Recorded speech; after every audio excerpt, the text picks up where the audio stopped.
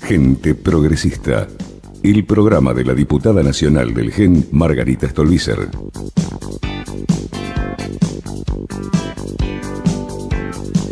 La mirada progresista sobre la actualidad nacional. Un intercambio semanal que contribuya a darle contenido y sentido al progresismo. Entrevistas, la agenda joven y todo el rock nacional. Gente progresista con la conducción de Margarita Stolbizer y todo su equipo.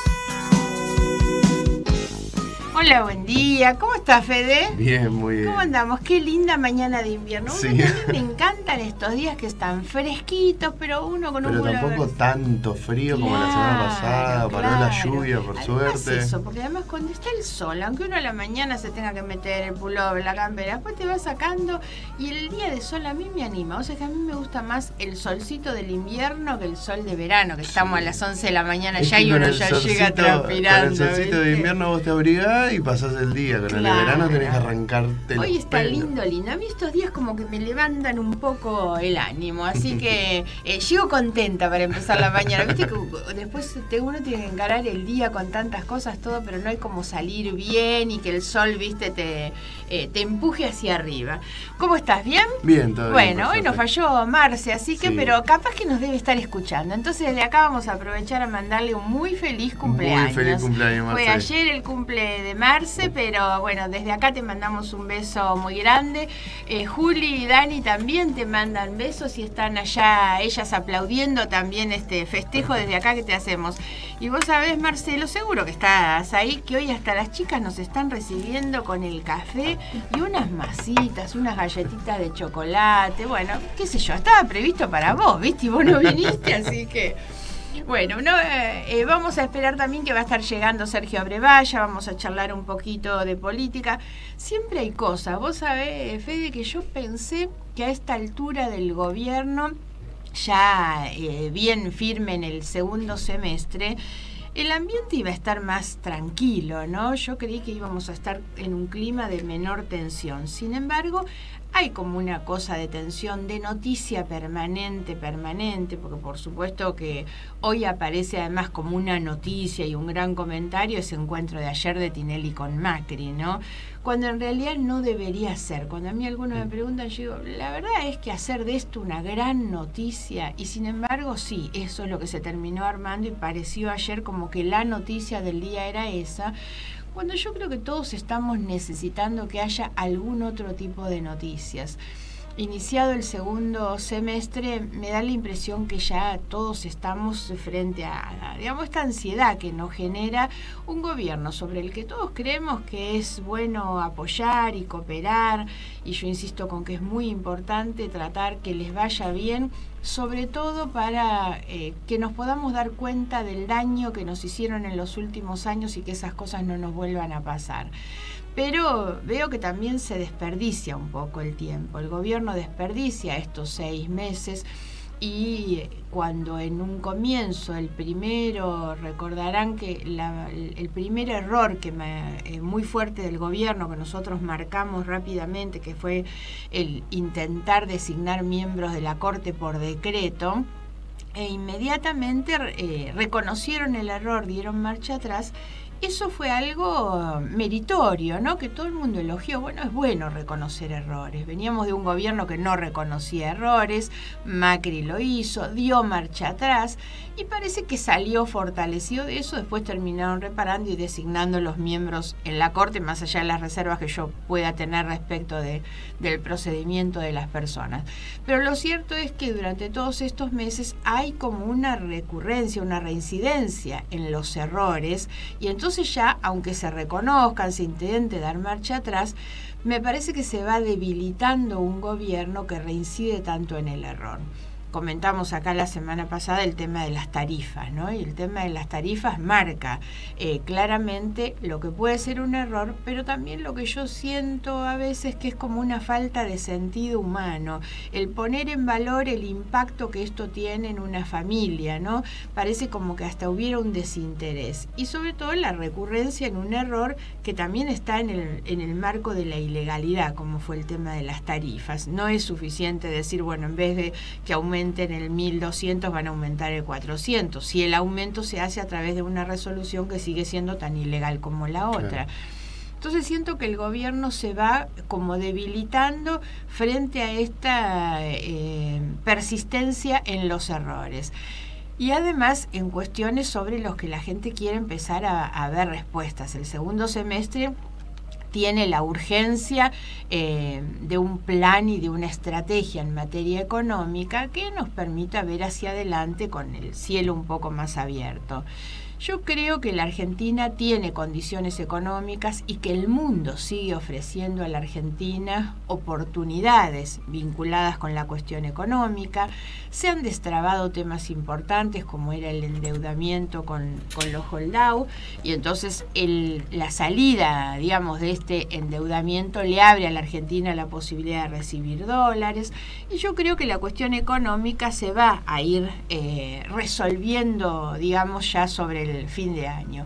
Ahora, la pregunta, por supuesto, es si esto es suficiente, si es suficiente que el gobierno pueda tener los dólares que necesita, si no hay una discusión mucho más franca, más integral. Hemos insistido mucho con la necesidad de un Consejo Económico Social donde se discutan estas cuestiones eh, y no vemos que haya voluntad por eso es que yo contextualizo un poco lo de la noticia de la reunión de ayer eh, del presidente Macri con Marcelo Tinelli en esta cuestión. Nosotros creemos que atender la problemática de la inflación, las cuestiones sociales, el impacto social que esto tiene, se debería dar más bien en un marco de tipo institucional, como sería la construcción de un consejo político, económico, social, con una convocatoria hacia todos los sectores involucrados para discutir no solamente precios y salarios, sino cómo hacemos, digamos, para aprovechar mejor nuestras buenas condiciones y, oportunidades.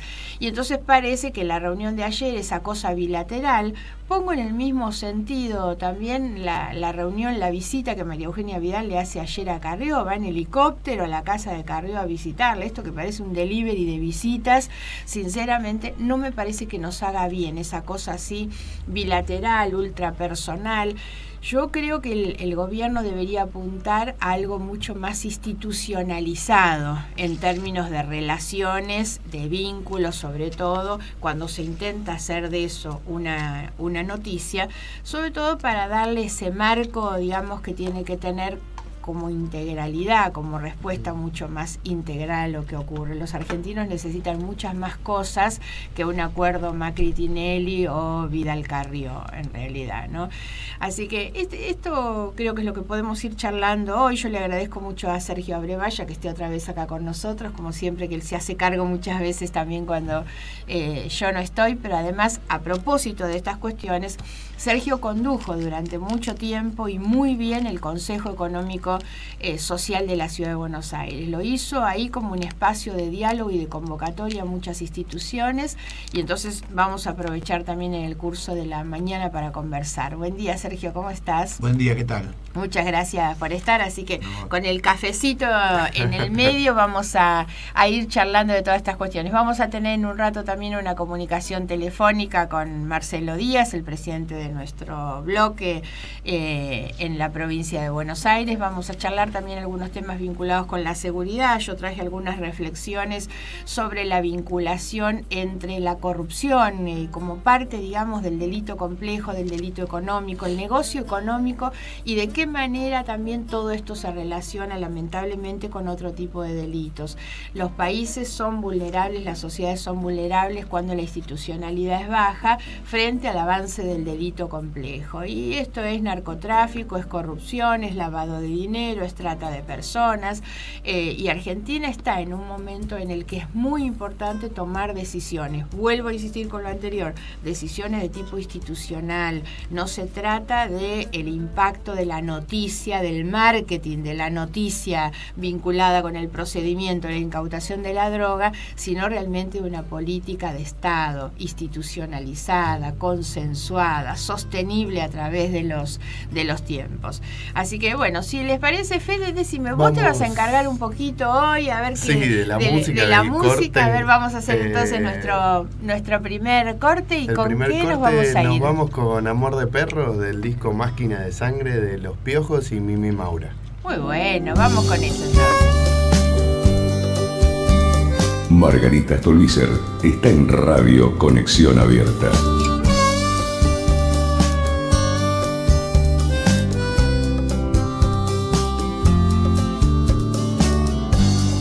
La vi pasar tan altanera.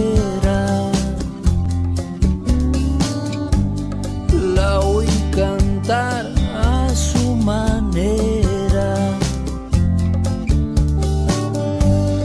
Tenía esa luz en la mirada. Sus piernas cortaban las lenguas del sol.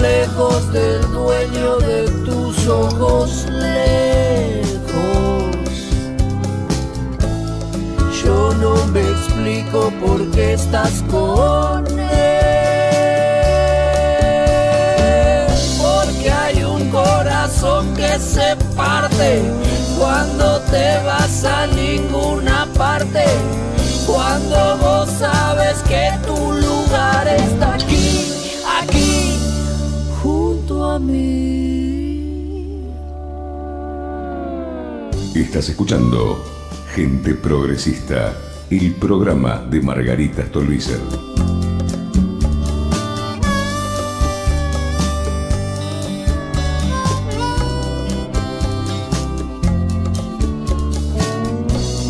Hoy caminabas en cámara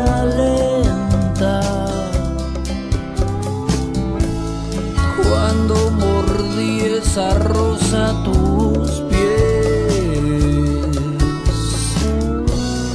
Y me ignoraste en forma tan violenta.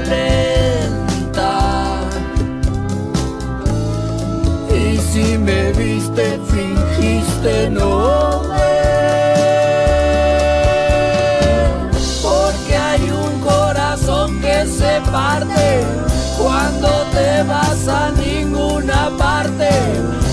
Vos sabes que tu lugar está aquí, aquí, junto a mí. Porque hay un corazón que se parte. Noches de amor, suburbio luna. Cuando te vas a ninguna parte. Sombras en sombras no se dejan. Gente Progresista. Corazón que se parte. Lejos del dueño de tus ojos. Habíamos dejado un poco yo pendiente como para charlar con, con Sergio sobre la importancia que tiene, sobre todo en, momentos, eh, yo vengo diciendo que estamos como en un tiempo de transición, es muy importante este tiempo y Macri seguramente tendrá después en, a lo largo de la historia este papel de haber, de haber sido un presidente que nos permite recuperar esa idea de la, la alternancia, una democracia fortalecida en la alternancia, pero hoy más que nunca los desafíos son justamente cómo darle un marco de mayor institucionalidad, de reglas a la Argentina, porque esto es lo que nos va a permitir sentar bases mucho más firmes para pensar en un proyecto y en un modelo de desarrollo a futuro. En ese sentido, donde siempre repetimos, las instituciones valen, las instituciones son importantes. Ahora, ¿qué tipo de instituciones? No son los edificios, las instituciones sobre todo son las reglas y son los marcos de diálogo. Y a esos fines es que hace tiempo que venimos insistiendo, tenemos proyectos y demás para tratar de replicar en el plano nacional la existencia de un consejo como ámbito, con, digamos, con ese nombre, pues son las experiencias más conocidas. Pero Sergio, vos tuviste en la ciudad eh, la responsabilidad de conducir el Consejo Económico Social y realmente eso se convirtió en un ámbito de concurrencia, de cooperación, de gente que venía desde ámbitos muy distintos, pero que encontraba algún objetivo común. Conversanos un poco de tu experiencia, pero sobre todo de cómo vos ves eso trasladado hoy al plano nacional. Sí, la experiencia, como vos decís, fue buenísima. Eh, dificultad que tenemos muchas veces de creer que el diálogo puede dar frutos ejecutivos se superó ampliamente. Eh, lo digo porque cuando arrancó el Consejo había algunos representantes de mucho peso, de representantes de instituciones de mucho peso, titulares de gremios, como eh, digo los nombres para entender de qué se trata, Omar Viviani, Gerardo Martínez, Víctor Santamaría, Dante Camaño, eh, Carlos Chile por la CTA, una rareza en términos de pensamientos políticos. A algunos seguramente no le gusta uno o el otro, no importa. Del otro lado, el lado empresarial, el presidente de la Cámara de Colectivos, el de FECOBA, que es CAME, eh, Alejandro Bonestein, presidente de CAPIT. Y claro, uno dice, de acá, o por ejemplo el actual rector de la UBA, que en ese momento era decano, todos sentados, y muchos más, el presidente de la AMIA, de la Pastoral Social, sentados para ver si se podía discutir algún tema útil. Y arrancamos por el tema más complicado, educación. La reforma, la propuesta de una reforma de educación media. Duró cuatro meses el proceso y lo terminaron votando con eh, muchísimas ganas. Eh, un proceso que los involucró como instituciones, ¿no? sus gremios, sus cámaras se metieron en la discusión. Digamos, y el producto de ese acuerdo al que se llega, ¿a dónde va después? Bueno, fue en este caso al Ministerio de Educación. ¿no?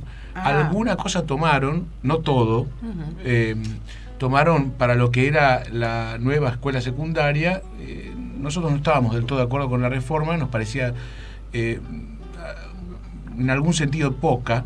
Nosotros propusimos una, digo, como consejo, una reforma muchísimo más fuerte, con un cambio de paradigma, pensando que hoy el conocimiento se co-construye, que ya no es más el paradigma anterior. Pero bueno, fuera de esa discusión, metió a todos estos jefes de instituciones en una discusión muy honesta sobre la educación y sobre lo mal que estamos.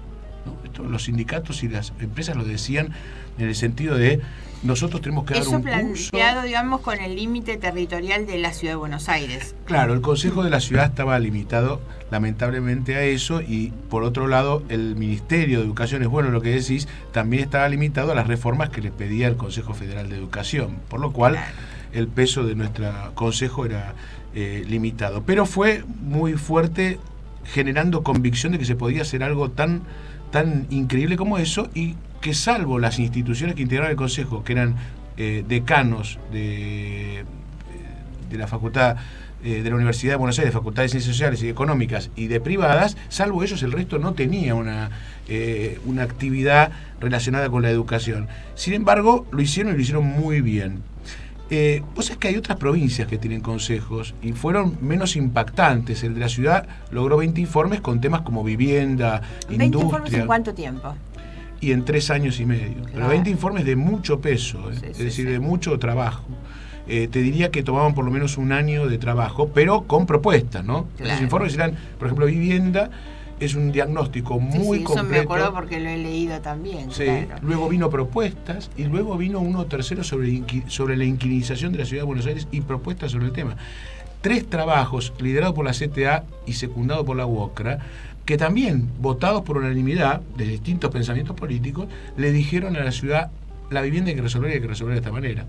Y al mismo tiempo, paralelo, industria, comercio, lo que produce en la ciudad. Claro, había eh, leído una vez, ¿te acordás que me pasaste porque tuvimos una reunión con la Cámara de Hoteles, ¿no? Sí. Sobre el tema de cómo abordar la problemática del turismo, darle más competitividad, garantizar sí. empleo también.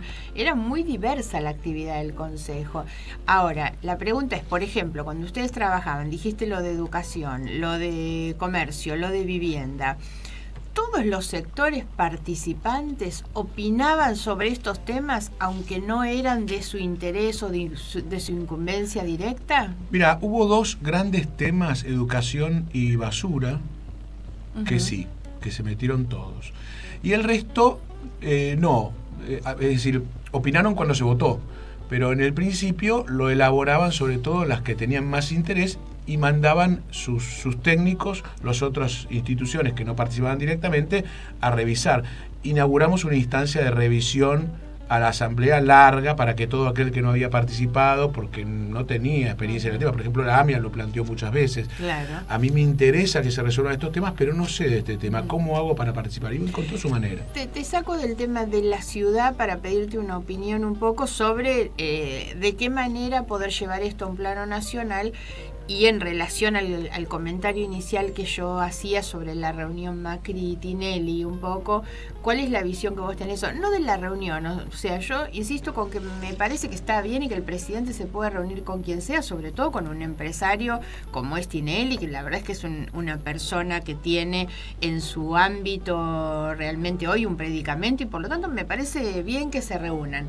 A lo que voy es a esta cosa de la eh, bilateralidad, de la cosa de la atención de tipo personal, en desmedro de lo que deben ser los ámbitos institucionales de deliberación de temas que tienen que ver con los recursos públicos, porque más allá de las imitaciones o no y de las cosas que se puedan contar de la reunión Macri-Tinelli, creo que hay un interés central ahí que tiene que ver con el fútbol y demás, y esos son recursos públicos Sí, también. ¿no? Sin duda, todos además tenemos la convicción con esa imagen de que eso es lo que está en juego, ¿no?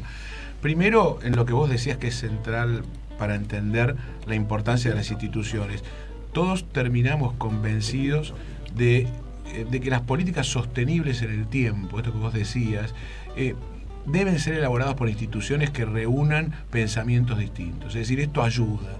Y eso no reemplaza al Congreso, simplemente le da ámbitos a otros que pueden formular propuestas en este sentido y lo hacen más sostenible, es decir, los convierten, los acercan a políticas de Estado como idea, digamos.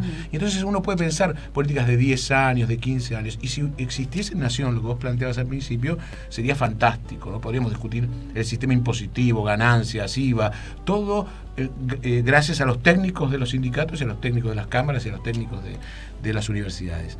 Eh, esta imagen que describiste, que, contaba del Consejo de la Ciudad y lo que puede ser Nación, contrasta mucho con la de bilateral, ¿no? Eh, yo creo que, que además el problema de esa reunión, que como bien decís no está mal tenerla, es lo que transmite como imagen. El momento en el que se produce no es un momento cualquiera en el que el empresario va a visitar al presidente, el presidente lo recibe, sino que es un momento donde hubo un juego de acusaciones y, y una suerte de, de condicionamiento, digamos, ¿no? Te imito, me enojo porque me imitas, entonces yo cambio esto y yo estaba en el fútbol.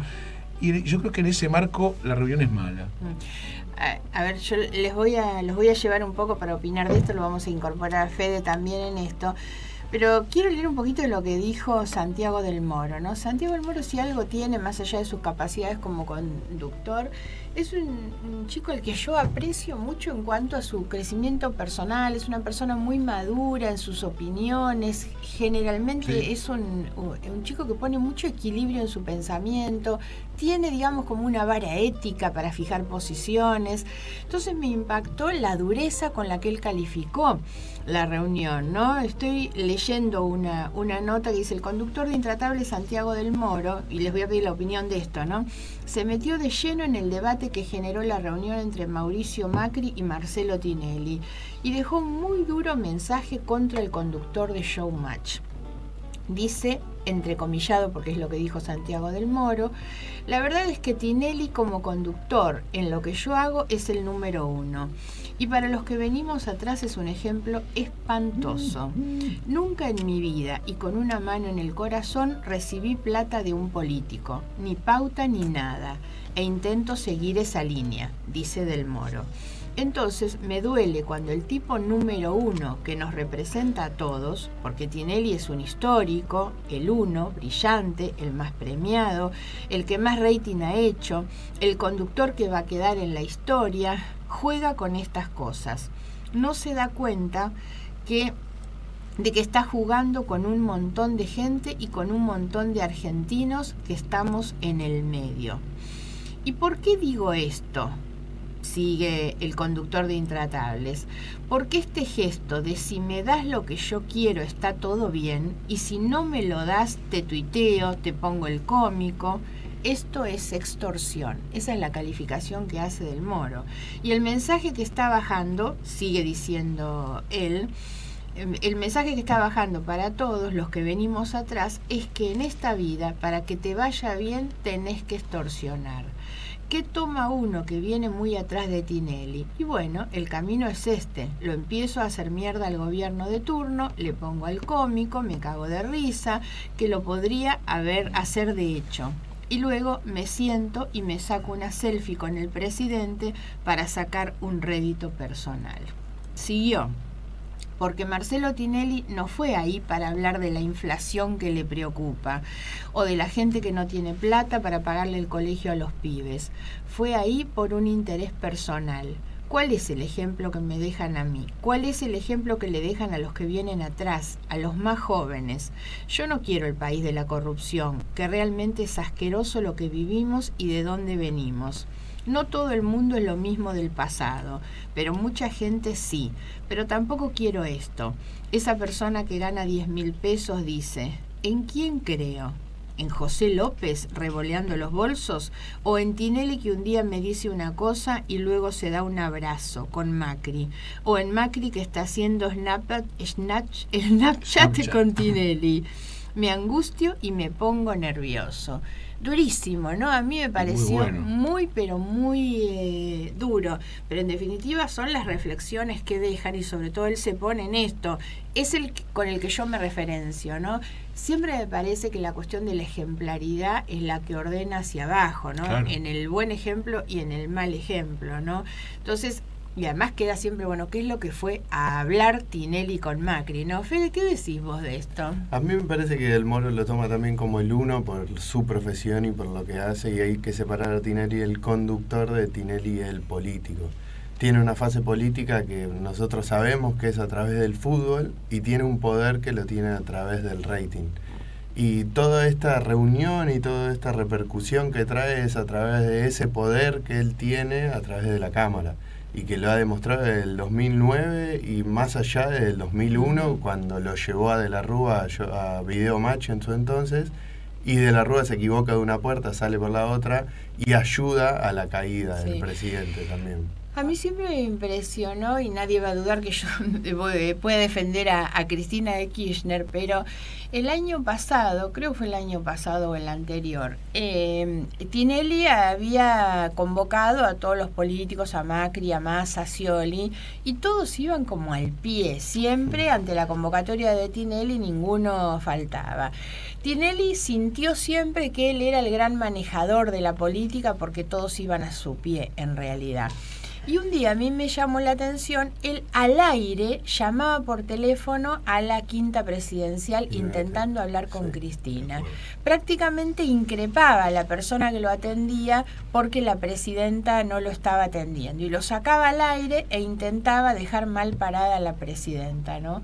A mí eso me pareció una práctica tan perversa, digamos, que era como decir yo te marco la cancha. Él sentía además que se la podía marcar a ella porque se la había marcado a los otros tres además, que estaban en la disputa por ese lugar, ¿no? Y eso me pareció siempre un comportamiento muy perverso, ¿no? Eso es lo que a mí me parece que también mm, está queriendo decir del Moro, ¿no? El problema a esta altura ya no es poner en la eh, silla, digamos, del acusado a Tinelli, sino al propio Macri. ¿Puede un presidente de la nación prestarse a esto, digamos, ahí es donde me hace un poco de ruido y vuelvo un poco a la conversación con Sergio. El ruido sobre la reunión con Macri no tiene que ver solamente con lo que eso tuvo por detrás, sino con las otras cosas que no se están haciendo. ¿Por qué no hay una mesa de diálogo para discutir y se elige este tipo de reuniones, no? sin duda. Y el otro ejemplo que diste más temprano también, ¿no? Eso de viajar en helicóptero porque hiciste una crítica y entonces voy a ver a la persona. Las bilateralidades, uno y otro que dicen lo que le pasa a la Argentina, es, es, una cosa La de Vidal yendo a visitar a Carrió es el delivery a tu casa, como me criticaste, entonces voy a tu casa. Y se resuelve el problema, ¿no? No lo echa. Claro. Como que sigue siendo el, el, constante pruebo a ver si funciona y si recibo una crítica, bueno, voy y te pregunto cómo la solucionaría porque no sé, estamos probando. Claro. También hay algo más en lo que dice Del Moro, que es él dice, yo no tuve pauta ni recibí dinero en ninguno. Y estos años han sido, han tenido mucho que ver con ese problema, ¿no? Con la plata del Estado en la publicidad, los partidos que, lo, que no lo tenían, que no podían. Todo este tema no encuentra todavía, me parece, solución. Y también hay mitos de creer que si vas a lo de Tinelli sos conocido o no. Yo recuerdo lo que vos le planteaste en Twitter, ¿no? Cuando no, invitó a tres y, y no a vos candidatos presidenciales y te dijo, bueno, vení cuando quieras, y vos dijiste, no, porque yo no bailo. Además, él siente esa capacidad, digamos, de promover y de matar a un candidato tranquilamente, ¿no? Claro. Y, si seguís la estadística de él, no fue cierto, ¿no? Le hizo la campaña, digamos, por decirlo así, a Insaurralde y perdió Insaurralde, ganó Massa. Sí, bueno, antes había ganado de Narváez. Yo creo que no es determinante, pero tiene una capacidad de penetración en los hogares y eso es lo que lo hace a él sentir poder. Así que, bueno, cortamos entonces por acá eh, Fede con un temita y después vamos a, retomar con otro tema tan o más duro que este. Vamos a hablar un poquito del tema de la inseguridad. Bueno, ahora nos vamos con Divididos a la Delta. Margarita Stolbizer está en Radio Conexión Abierta.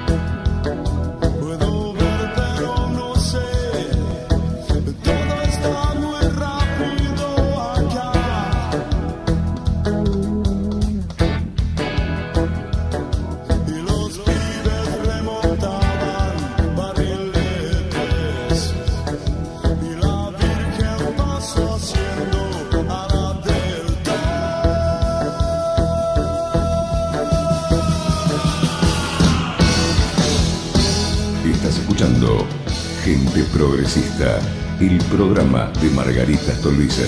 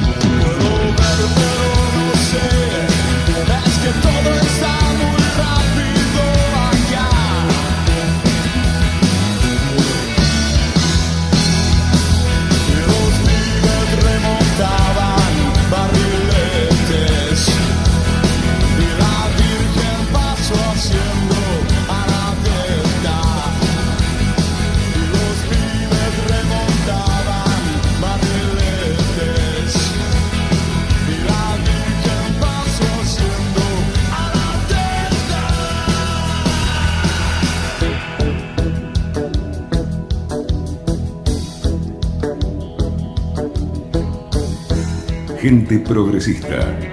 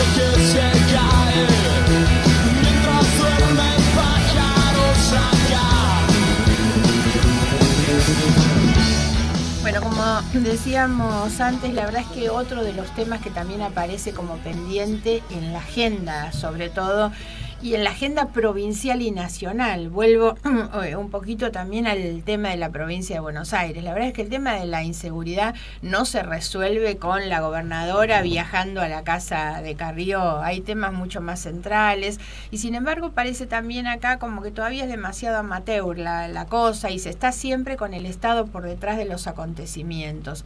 ¿Cuánto tiene además que ver todo esto con el crimen organizado, el narcotráfico, el lavado de dinero y la corrupción? Son siempre como cuestiones que van demasiado entrelazadas y la situación de las policías es también bastante complicado. Tenemos un, llamado, una comunicación con nuestro diputado provincial, presidente de nuestro bloque en la legislatura de la provincia de Buenos Aires, Marcelo Díaz. ¿Estás ahí, Marcelo? Sí, Margarita, buen día. Buen día, ¿qué tal? Acá estamos con Fede Vázquez y con Sergio Abrevaya. ¿Cómo estás vos? Bien, bien, bien. Acá en una confitería frente a dos policías locales que están ah, caminando, haciendo turismo. Primero, antes de, pasar al tema de la policía, te quiero eh, pedir una opinión porque un poco empezamos el, el programa. ¿Vos me escuchás? Sí, te escucho, te escucho, un poco cortado, pero se escucha. Bueno, no, yo te quiero pedir primero una opinión porque nosotros empezamos comentando sobre la necesidad de pensar en políticas de Estado, en ámbitos institucionales de diálogo, y entonces yo leí recién al aire la, la posición que fijó Santiago del Moro con relación a la reunión de ayer de Marcelo Tinelli con Macri, ¿no? Que por supuesto el presidente puede reunirse con quien quiera y no está mal reconocer a, Tinelli como un interlocutor, ¿no? Ahora, lo que queda, digamos, ahí en el aire como parte de esta discusión, es lo que, que criticó Del Moro, es esta idea de que o me recibís y sos amigo y me das lo que yo quiero, o te extorsiono. Fue muy crítico y muy duro él, y lo que nosotros veíamos también es que los problemas de la Argentina se resuelven con ámbitos más institucionales, plurales, abiertos, que no en reuniones eh, de este tipo bilateral. Pero quiero también ver saber tu opinión sobre este tema antes de pasar al otro. Fundamentalmente creo que sí, inclusive eh, vos hablaste del tema de la seguridad y otros temas, son temas que realmente deben ocupar la agenda del presidente, el tema de la bonaerense, ya dejó de ser un problema de Vidal, que lo es y seriamente, para pasar a ser un tema nacional, que se resuelven con una política de Estado. Yo eh, integro el Consejo de Seguridad de la provincia de Buenos Aires, que preside el ministro de Seguridad, el señor Ritondo. Tres reuniones tuvimos. Una para contarnos todos los chalecos antibala que le iba a comprar, que de hecho se hacen en una fábrica en Ezeiza, ¿no? Otra fue para hablar de los tráficos fuera un problema de Estado, y otra fue para en Mar del Plata para defender a un intendente que estaba severamente cuestionado. Obviamente esa última no fui porque no pienso prestarme a ese tipo de operaciones mediáticas, pero me parece que el gobierno debe apuntar más a resolver los problemas estructurales con políticas de Estado. Y los problemas estructurales de la Argentina son los que ya conocemos, la inflación, que tenemos una inflación estructural con niveles de precios altos, tenemos el problema de las tarifas que ya dejó de ser una económica para pasar a ser una discusión política, a mi entender y el problema de la seguridad, ¿no? un poco sobre esos temas en el plano nacional, lo que nosotros marcábamos era la falta de un, de un organismo como un Consejo Económico Social en el cual se puedan discutir todos estos temas en un ámbito de diversidad, de representación sectorial plural, ¿no? Y eso no existe y no hay eh, por el momento ninguna intención explícita de crear un Consejo Económico Social a nivel nacional. Bueno, yo creo que es una necesidad imperiosa. Sé que vos sos autora de un proyecto de ley en torno a esto.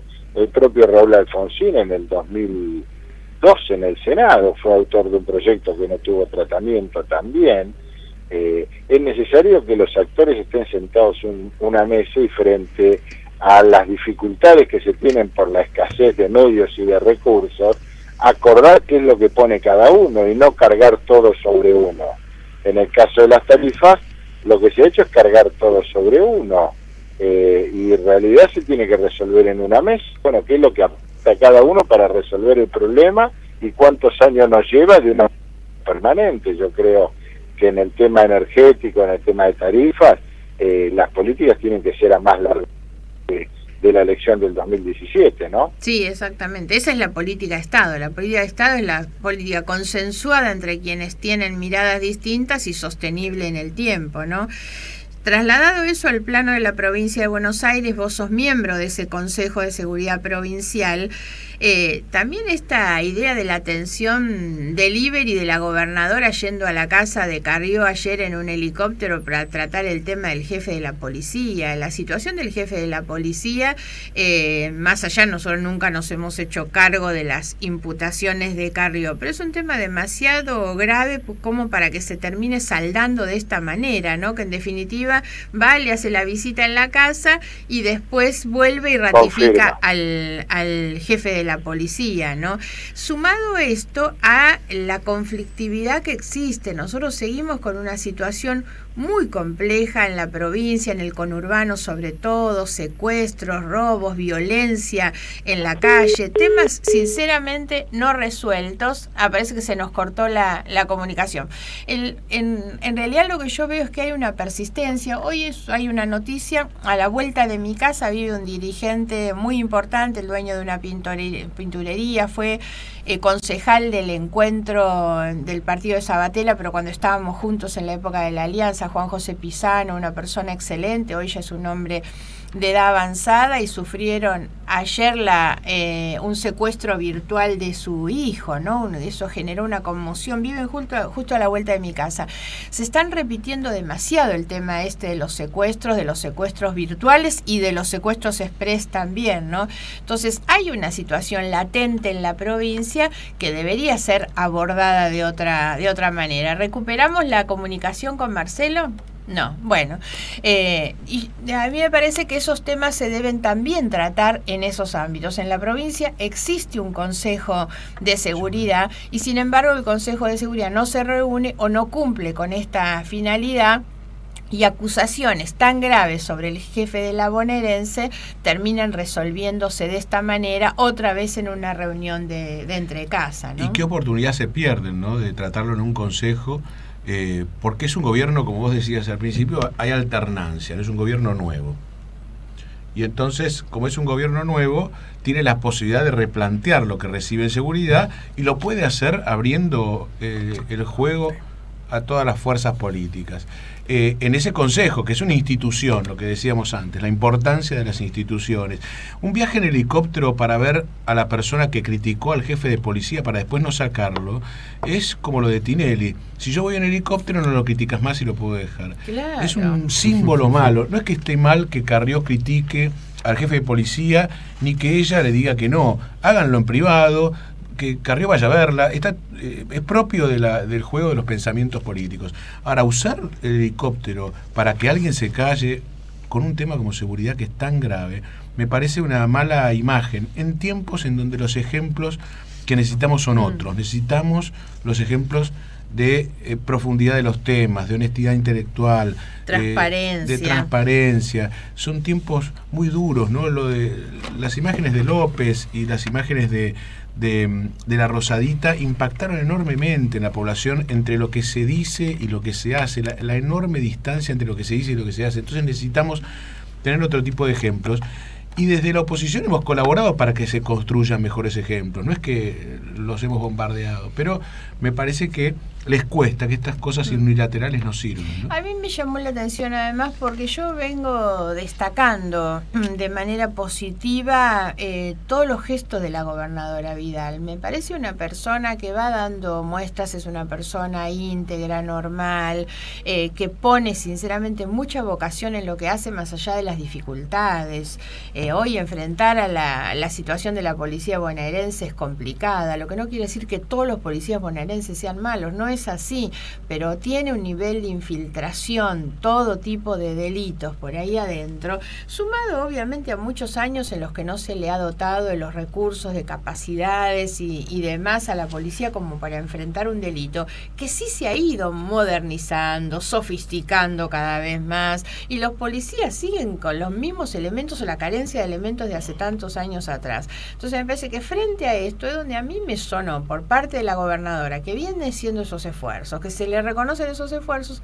La verdad es que no me gustó, digamos, este tipo de, de cuestión. Me parece que no, no habla bien de ella. Yo siento como que se debilita en una cosa así. Tampoco quiero eh, digamos, cargar las tintas con la gobernadora porque de última me parece que, bueno, trataremos de no sobredimensionar un episodio como este, pero me da la impresión que no le va a resultar gratis tampoco. Así que seguramente vamos a volver porque este es un tema que realmente me interesa. Yo había traído unas cosas para comentar y, y leer. Tuvimos una reunión hace unos días atrás con un experto en temas de crimen organizado, lavado, narcotráfico, que es Edgardo Buscaglia, una persona que viene trabajando y asesorando en distintos países fundamentalmente en México, es muy valiosa y quería hacer algunos comentarios, pero se nos ha ido el día y no quiero que dejemos pasar, digamos, el anticipo del fin de semana, de los próximos días, sin tener seguro una buena agenda que nos trae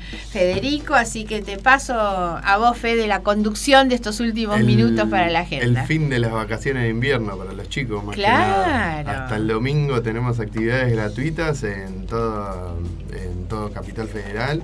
El viernes, mañana a las 15, dentro del ciclo Bairecito, que incluye actividades y espectáculos en más de 40 sedes eh, alrededor de toda la ciudad, va a estar brindando un show gratuito a los Cazurros en el Anfiteatro Parque Centenario, mañana a las 15 horas. Está bueno para acordarse porque los Cazurros le gustan mucho a los chicos y para aprovecharlo gratis en Parque Centenario. Y también mañana a las 20 eh, va a estar tocando la orquesta estable del Teatro Colón en la Usina del Arte desde las 18 horas. Dos horas antes se pueden empezar a retirar las entradas en la boletería del Teatro Colón, Tucumán 1171. Y además en Brasil y Defensa, eh, el 30 y el 31 de 10 a 18 va a estar el Buenos Aires Market en San Telmo. Es una feria itinerante dedicada a alimentos saludables y gourmet que regresa a San Telmo de 10 a 18. La entrada es libre y gratuita, solamente hay que abonar lo que uno come. Qué linda agenda, Fede. Y vas a pasar el tema de transparencia también, el evento que hay la semana que viene. El 2 del 8, que el 2 es el martes a las 17 y 40 en el Centro Cultural Kirchner, Sarmiento 151, en el Salón Federal, sexto piso va a estar la presentación del informe anual Transparencia y Corrupción, informe 2015, donde va a estar Margarita, Hugo Alconada Moon y Jorge Ugaz, que es el presidente de Transparencia Internacional. Esto organizado por la ONG Poder Ciudadano. Eso es. Y le vamos a pasar a Sergio para que nos haga una convocatoria muy interesante para hoy, ¿no? Hoy estamos con Margarita en Caballito, en Plaza del Carmen, Avenida Plata y Rivadavia, una zona en Caballito que estuvo golpeada en estos días, se pudo ver por televisión, por los cortes de luz. ¿no? Mientras viene el tarifazo, hubo unos cortes de luz como si fuese verano y la gente salió a la calle eh, a 3, 4 cuadras de ahí, y muy cerca. ¿no? Así que vamos a estar conversando con los vecinos, pero de todo, de todos los temas nacionales y, y, de política. ¿Pero cuáles son los temas de los vecinos de ahí del lugar? Hoy te diría que ese es central. Es un tema tremendo.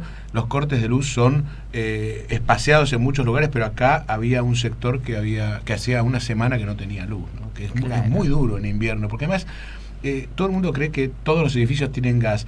No, no todos. A veces hay problemas en los edificios, cortes de gas porque están mal hechas las instalaciones y si el edificio está 5 o 6 meses sin gas y se arregla con estufas eléctricas, le cortas la luz, no solo lo dejaste sin heladera, lo dejaste en este frío sin calefacción. Así que este es uno de los temas más importante, ¿no? Y escucharlo. Sí, entonces repitamos la invitación. Hoy vamos a estar a las 18 en Plaza del Carmen, que queda en Avenida Plata y Rivadavia. pleno caballito. Esperamos entonces a, los vecinos ahí que nos acompañen.